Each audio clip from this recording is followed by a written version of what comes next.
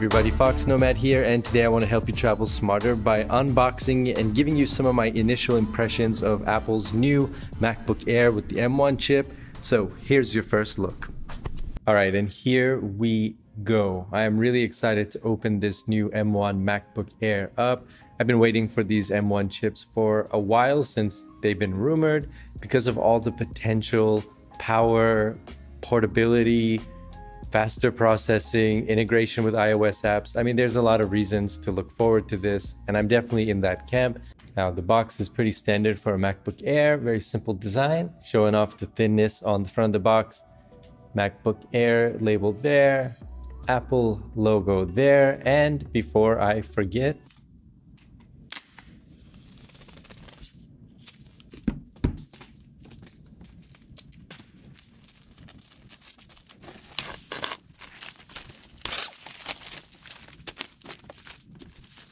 I just love that part of unboxing Macs. So now that we've gotten rid of the plastic, here is the box. So make sure you're subscribed so you don't miss any of those upcoming videos. But for right now, here's my unboxing and first impressions.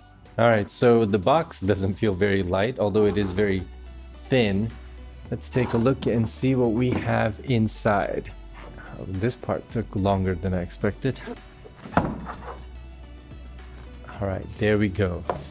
That is the M1 MacBook Air. Of course, you've got your tab to take it out. Nice thing is it's not too heavy. So the box is pretty heavy, like I mentioned, but the actual MacBook isn't. So I'll put this aside and show you some other things that are in the box.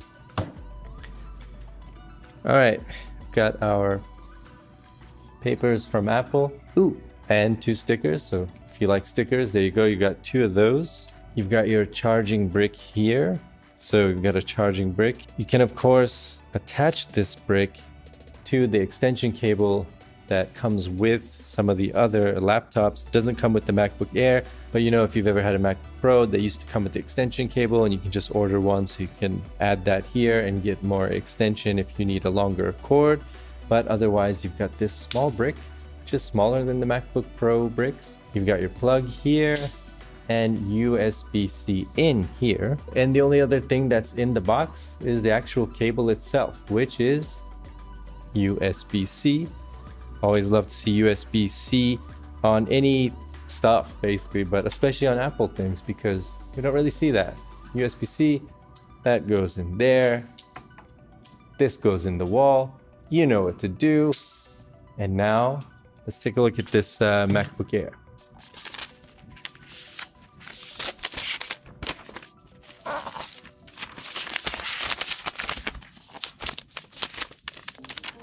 Now, does any other company do that as well as Apple does it? I don't think so. All right, so let's uh, let's take a look inside. Very MacBook Air. So if you've ever had a MacBook Air, this design shouldn't be surprising. So you've got a headphone jack here, thin all the way around, a little bit thicker on this uh, hinge part. And you got two USB-C in, so you can use that one for charging and the other one for other devices. Would have been nice to have more USB ports, but uh, you can always get a dongle, I suppose, add those there.